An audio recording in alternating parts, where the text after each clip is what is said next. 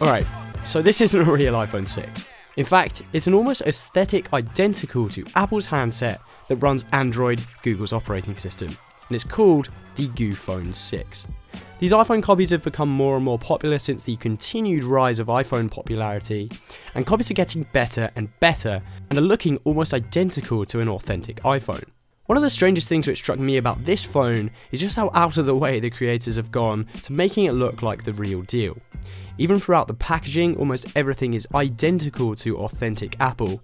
For comparison, here's an actual iPhone 6 box side by side with the fake for a reference.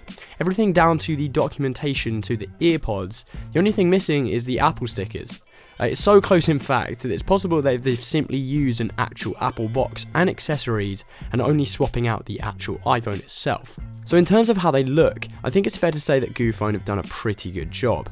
The gold iPhone 6 is definitely going to fool most people on the street, and most people holding it even. The build materials are similar, and the true iPhone 6 definitely feels a lot more robust and reassuring, but it's not a crazy difference to the point that you wouldn't be able to use this copy on a daily basis. So talking about the design and build, I did a little test on my social networks, mainly on my Instagram, I wanted to see whether people would be able to tell which was the real iPhone, and the response was overwhelmingly correct.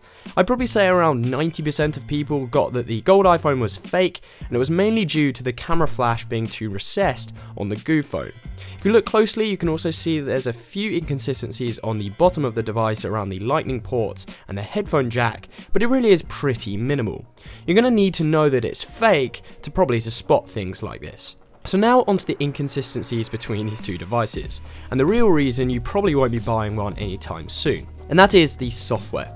Even though the GooPhone claims it's running iOS 8.1 as you can see here, it's actually a heavily skinned and customized version of Android. This for one means that there's giant inconsistencies with what iOS actually looks like, and it is slow as hell. General tasks do okay, but things like typing, web browsing, or taking photos are just a bit painful when you know what the true iOS experience is like. For comparison, here's the time it takes to open Safari, visit my YouTube channel, uh, close down Safari, and kill the process from the app switcher. And I've recorded both a real iPhone and the GooPhone to give you a sense of just how big the difference is.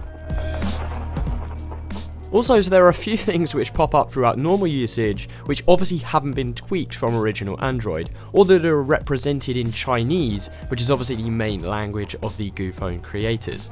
Or the fact that Touch ID is almost identical to Apple's in every single way, apart from the fact that I've only scanned in my thumb, and very often it lets me through using any of my other fingers. Couple that with the fact that you can simply screenshot to get through a password protected lock screen, and there's a lot of things which make this phone funny, but not a great investment for the still not insanely cheap $150 price mark. In fact, if you're looking to get a budget smartphone, go for something like the Moto G 2014. This runs loops around the GooPhone 6. If you're looking for a budget iPhone, buy a second hand one on eBay. This cheap knockoff looks the part, but it sure as hell doesn't perform like it. It might be good for a bit of novelty fun, but it's a pretty pricey joke. I would be very apprehensive to say you could use this phone on a daily basis with the software that it runs. Perhaps if you've never used an iPhone before at all, but if you've used anything perhaps above an iPhone 3GS, the GooPhone 6 just isn't going to float your boat. I'm really interested to hear your thoughts on this phone, so let me know what you think down below in the comments. I'll be down there answering for the next few days or so, so definitely uh, leave your opinions. If you made it to this point in the video, feel free to leave the video a like, and I will catch you next time.